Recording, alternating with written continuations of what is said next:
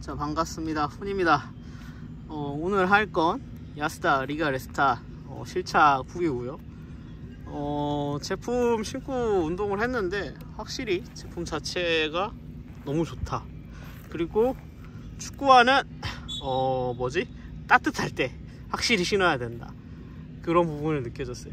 핏은 보시면 왼쪽 여기 거의 다 끝에 나와 있고 여기는 뭐 완벽하게 이렇게 핏하게 돼 있고 이쪽 부분에도 거의 완벽하고 여기도 이렇게 돼 있고 사실 이쪽 부분은 조금씩 남긴 하거든요. 제품 자체에 야스다가 가지고 있는 제 느낌에서는 이 피팅감 자체를 잡아주는 디자인 자체가 굉장히 설계가 잘 돼 있는 것 같아요.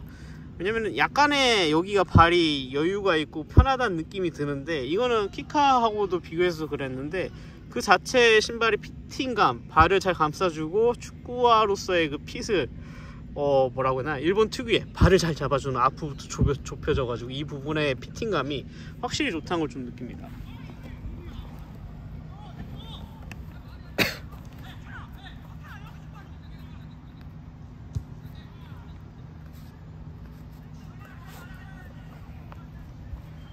네 야스다의 리가레스타 터프고 이 앞에는 소가죽이 쓰인 제품이죠 사실 아직도 좀 딱딱하긴 해요. 근데 더운 날씨에 축구화를 지금 제가 한 네 번째 다섯 번째 정도 신는 것 같은데 신으면서 발에 길들여지는 느낌은 확실히 있는 것 같아요.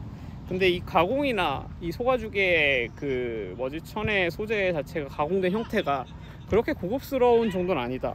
그리고 스티칭한 방식을 신으면 신을수록 느끼는 게 이게 늘어나지 말라고 진짜 오히려 촘촘하게 축구화 자체를 계속 박음질을 해놨다는 느낌이 계속 드는 부분이에요.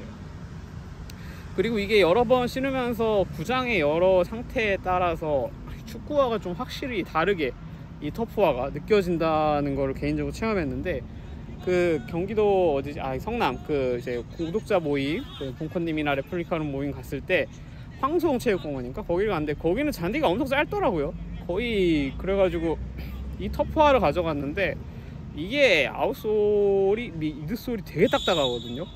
그래가지고 그 딱딱한 상태로 계속 신었는데 뒤꿈치가 엄청 아픈 거예요.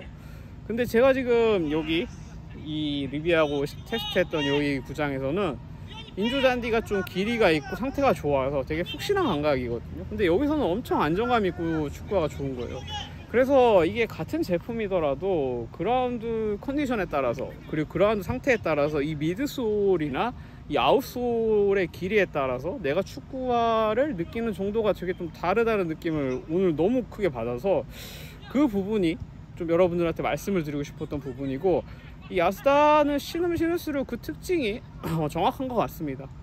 일단은 이 upper는 말씀드렸던 것처럼 딱딱한 편이고 부드럽고 유연하거나 그러진 않아요. 근데 확실히 더운 날씨에 그리고 계속 참에 따라서 길들여지고 내 발에 피팅되는 감각은 그 가죽의 특성 자체는 가지고 있다.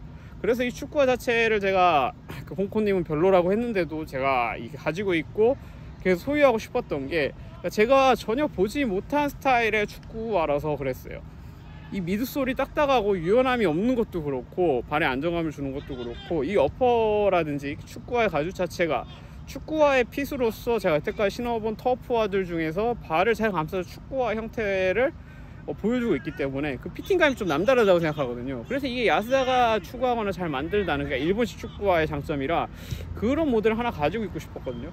데스포르치가 물론 가지고 있긴 하지만 그거는 풋사라 쪽에 대해서 미드솔이나 아웃솔에 대한 안정감이 전체적으로 쿠셔닝과 함께 잘 넓게 면적이 돼 있어서 그러니까 말 그대로 풋살을 플레이하기 위한 컨셉의 가장 좋은 축구, 아, 그러니까 풋살화다 라는 생각이 든 반면에 이거는 야스다 자체에 뭐 저번에도 말씀드렸지만 축구화 자체의 컨셉에 킥하고 패스 이런 것들을 정확하게 그리고 뛰면서의 기술을 발휘할 수 있는 그런 거에 focusing이 좀 맞춰져 있지 않나. 확실히 느껴져 있는 건 이 midsole 그러니까 뒤축이랑 앞축의 높낮이도 달라서 스프린트를 한다거나 발의 감각 슈팅을 할 때 그 부분에 대한 것도 확실히 좀 이제 높이가 해서 앞으로 힘을 잘 쏠릴 수 있게 쏟아서 이렇게 그러니까 속도를 주거나 힘을 줄 수 있게 되는 느낌이고 전체적으로 축구화의 실루엣이라서 되게 좋았고 이게 제 스스로 좀 우아했던 게 이걸 테스트해서 신었을 때 예전에 좀 딱 맞거나 그런 느낌이었는데 오히려 최 오늘 신었을 때 느낌은 조금 약간 여유가 있어진 느낌? 제가 양말을 나이키 그립삭스를 신고 와서 이게 좀 다른 여태까지 신었던 이거 세차를 신었던 양말이 좀 얇아서 그랬던 건지 아니면 이게 발에 제 발이 길들여지면서 축구화 자체가 좀 안에 이제 공간이 생겨서 뭐 그런지 모르겠는데 약간의 그런 느낌이 나더라고요. 근데 이게 그 느낌이 나는데도 이게 좀 키카랑은 확실히 다른 게 피팅감 자체가 발을 잡아주는 디자인들이 그럼에도 불구하고 내 발하고 딱 맞기 때문에 그 발이 안에서 약간 논다는 느낌이거나 이렇게 앞에가 좀 넓어가지고 내 발을 좀 잡아주는 느낌이 피팅감이 약하다는 느낌은 덜 하더라고요.